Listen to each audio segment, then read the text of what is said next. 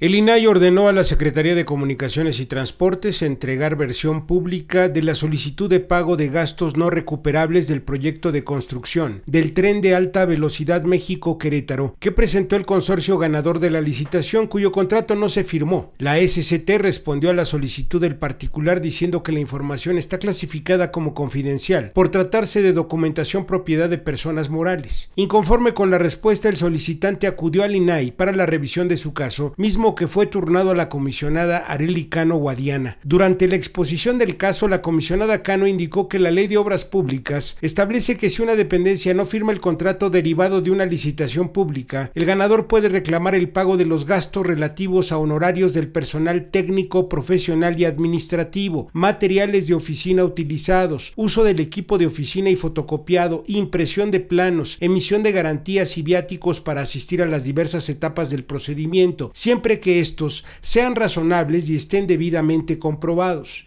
En su análisis, la comisionada ponente refirió que si bien la documentación comprobatoria de los gastos es de carácter confidencial, la solicitud de reclamación es, en general, un documento público que ya fue entregado como parte del procedimiento que establece la ley. El escrutinio al hacer gubernamental, en, el quehacer gubernamental en todas las etapas de un procedimiento de licitación de obra pública debe ser visto como la posibilidad de mejorar prácticas para una gestión eficaz y eficiente en los fondos públicos. Por anterior, el Pleno del INAI modificó la respuesta de la Secretaría de Comunicaciones y le instruyó a entregar la solicitud de reclamación para el pago de los gastos no recuperables de la licitación del proyecto del tren de alta velocidad México-Querétaro y, en su caso, elaborar una versión pública de dicho documento en la que no consten datos personales.